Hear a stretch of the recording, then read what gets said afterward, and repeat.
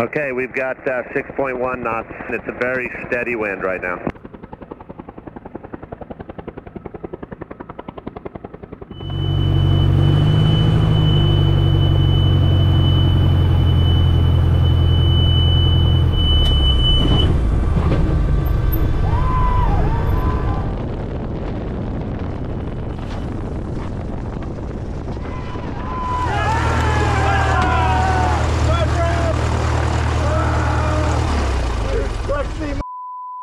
Oh, sorry, pardon my language.